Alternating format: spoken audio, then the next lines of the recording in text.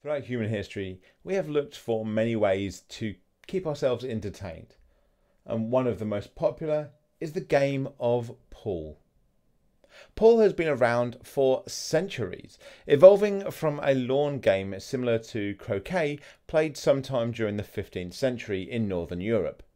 It's now known for its iconic green felt table, which mimics the green of the lawns where the game was initially played. But beyond being just a game, pool requires a high degree of skill and strategy. Players need to understand angles, velocity and spin, and there's a certain finesse involved in each shot. It's a balance of physics and artistry that can be truly captivating to watch. There's also a rich culture surrounding the game.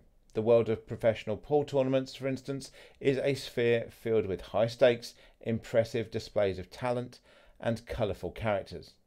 It's also made its way into popular culture, featuring in numerous films and books, sometimes even being associated with high tension situations and glamorous lifestyles.